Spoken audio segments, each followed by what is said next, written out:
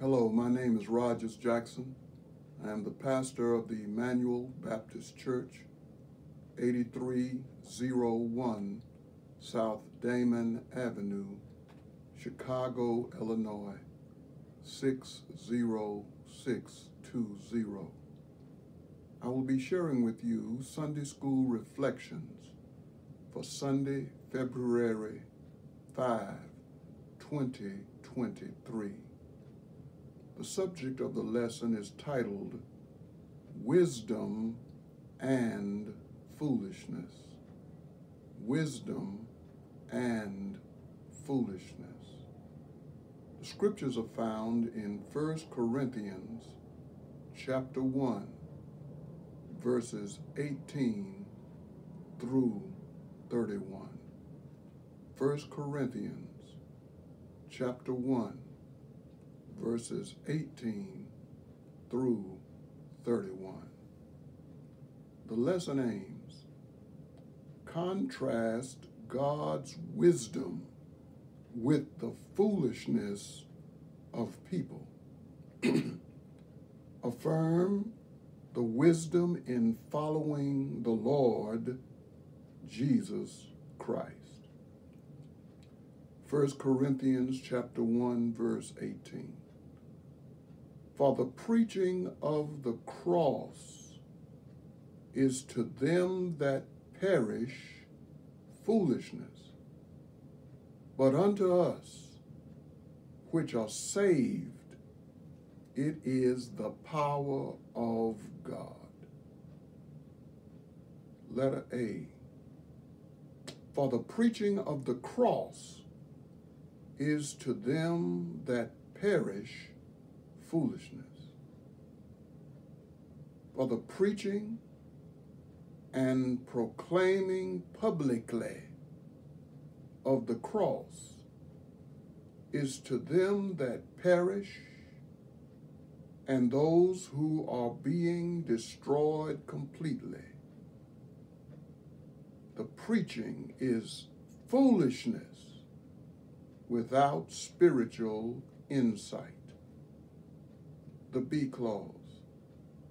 But unto us, which are saved and delivered from spiritual calamity, the preaching of the cross, it is the power to accomplish what needs to be accomplished by God. Verse 19. For it is written, I will destroy the wisdom of the wise and will bring to nothing the understanding of the prudent. The A clause of verse 19.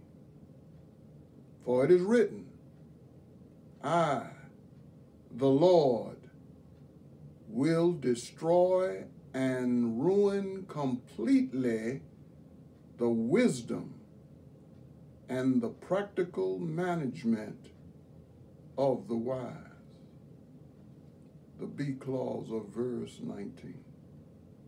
And I, the Lord, will bring to nothing the understanding of the prudent and those who are intelligent in understanding.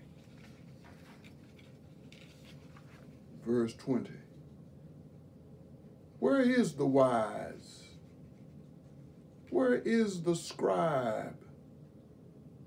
Where is the disputer of this world? Hath not God made foolish the wisdom of this world? The A clause of verse 20. Where is the wise who are sensible and practical? the B clause? Where is the scribe who both instructs, teaches, writes, and explains the scriptural law of Moses? The C clause of verse 20. Where is the disputer of this world who thoroughly diagnoses and scrutinizes everything of this world? The D clause. Hath not God made foolish who are without insight the wisdom of practical management and good sense of this world? Verse 21. For after that, in the wisdom of God, the world by wisdom knew not God. It pleased God by the foolishness of preaching to save them that believe. The A clause of verse 21. For after that, in the wisdom of God, the world by wisdom knew not God. The B clause. It pleased God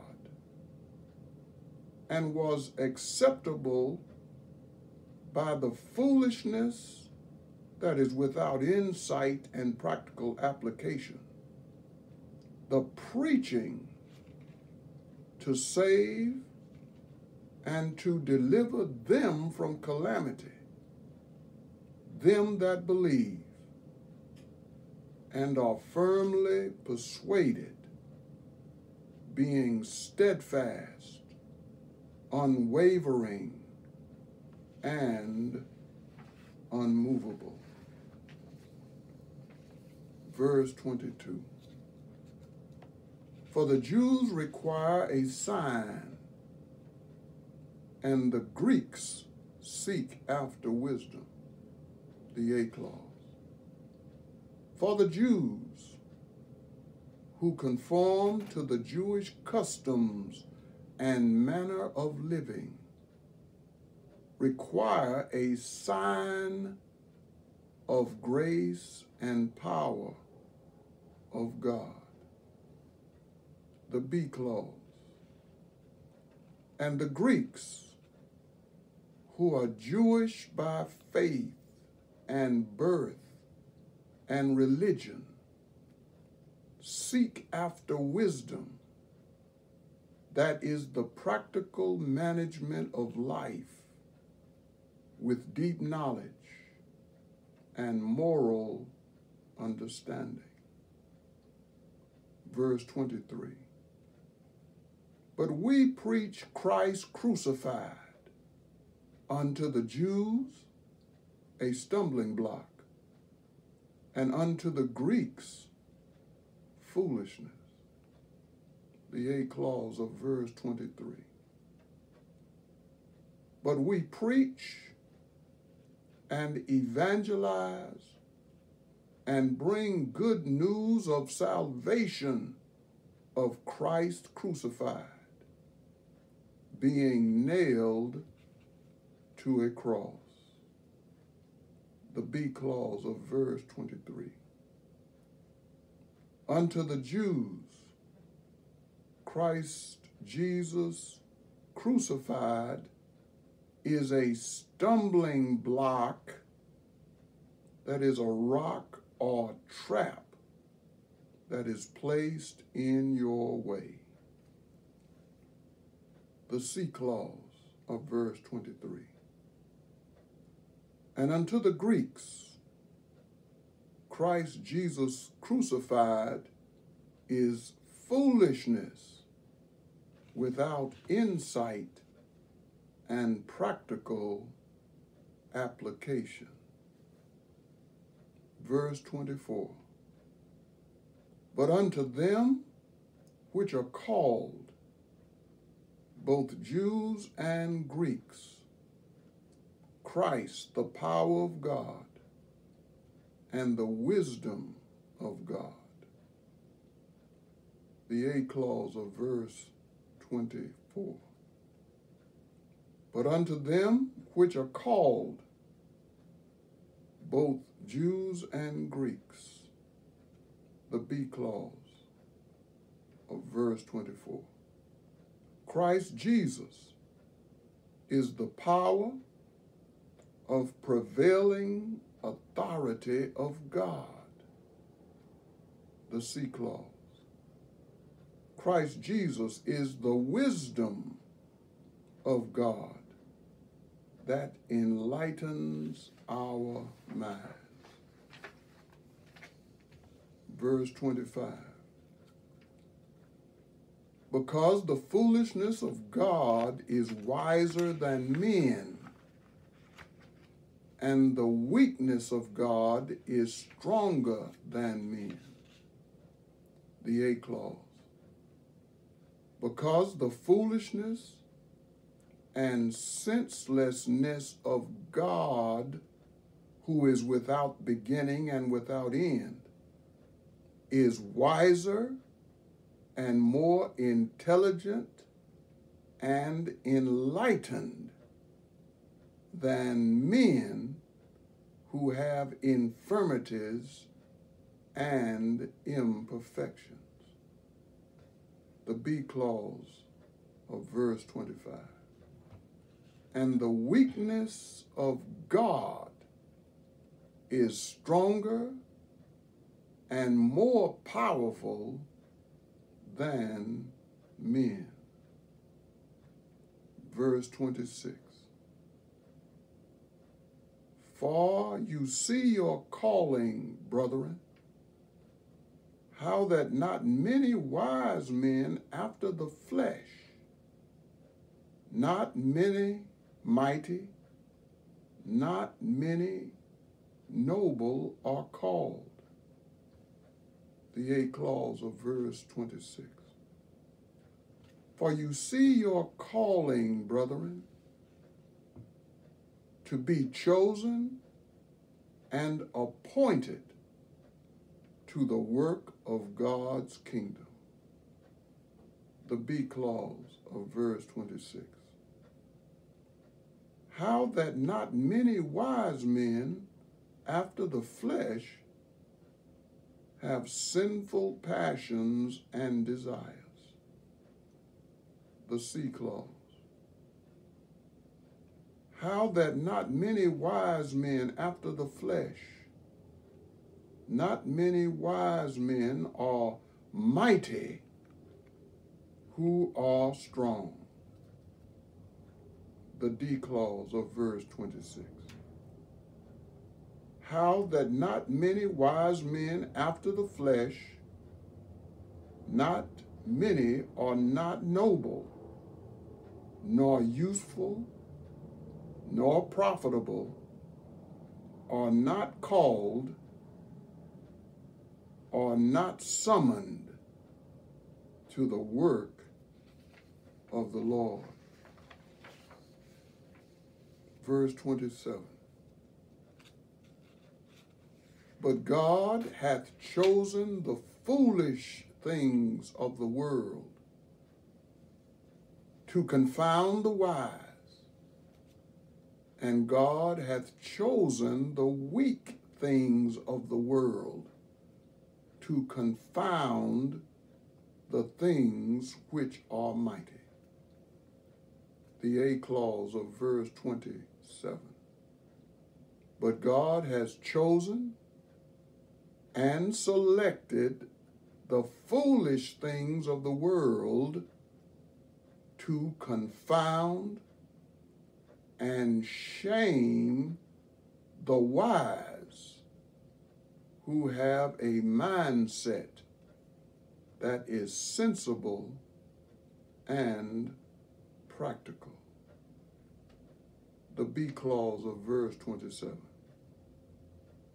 And God, who is our creator and the finisher of all things, has chosen the weak things, that are without strength of this world to confound, to shame, and to dishonor the things which are mighty, both mentally, physically, and morally. Verse 28 And base things of the world, and things which are despised, hath God chosen. Yea, and things which are not, to bring to naught things that are. The eighth clause of verse 28. And God hath chosen the base things and persons who do not live up to expectation of the world the B clause of verse 28. And God has chosen the things which are despised and treated with indignity, hath God chosen, and things which are not, to bring to naught things that are. Verse 29. God has chosen that no flesh should glory in his presence. The A clause. God has chosen that no flesh of sinful passions and desires shall glory in his presence. Verse 30 but of him are you in Christ Jesus, who of God is made unto us wisdom and righteousness and sanctification and redemption. The A clause. But of him, God, are you in Christ Jesus, who of God is made unto us wisdom to give us insight, to teach and prosper. The B clause of verse 30. God is made unto us righteousness that conforms to the spiritual authority of God. The C clause of verse 30. God is made unto us sanctification that sets us apart, being consecrated in devotion to service, to the service of God the D clause. God is made unto us redemption, being loosed and set free. Verse 31 that according as it is written, he that glorieth, let him glory in the Lord the A clause. That according as it is written, he that glorieth in a proud manner, let him or her glory, praise, honor, and applaud in the excellent magnificence, splendor in the Lord. These are a few reflective remarks for our Sunday, February 5, 2023 Sunday school lesson Wisdom and Foolishness. 1 Corinthians chapter 1, verses 18 through 31. And I have a precious announcement. The Emmanuel Baptist Church will be celebrating 50 years of praise and worship. The first Sunday of March, the 5th, 2023, will be our triumphal entry. Our guest preacher for the March Circle will be Reverend Malcolm Walton. The second Sunday, March 12, 2023, our All Saints Day remembrance. Our guest minister is Reverend Dr. Edward Brown Jr. The third Sunday of March 19, 2023, Family and Friends Day. The guest preacher will be Reverend Dr. Marcus D. Cosby. And the fourth Sunday, March 26, 2023, will be the Alumni Day of the Emmanuel Christian School. The guest minister will be Reverend Larry Linder. And then the Emmanuel Baptist Church's 50th anniversary 2023 will have a luncheon. This luncheon will be March 18, 2023. The time 12 p.m. to 12 4 a.m. 4 p.m. The cost is $50. The guest speaker will be Reverend Dr. Augustus T. Curry. This luncheon will be at the Chateau Del Mar, 8301 West 95th Street, Hickory Hills, Illinois. More information will be coming in relation to this great celebration. We thank the Lord for Pastor Curry and all of those who, across the years, has served and helped and enriched people through the ministry of this church. Let us pray. Great God, our Father, we thank you so very much for the grace of the church the grace of the people of God. We thank you for 50 years of praise and worship and testimony and outreach. We pray that this would be a time of fellowship, of friendship, and of worship. Let your name, great God, today and your great name tomorrow be glorified. We thank you and we praise you, Lord, for the victory. In Jesus' name, amen. Go forward, my friends, and serve the Lord. Praise be to God who gives us the victory. In Jesus Christ our Lord. Amen.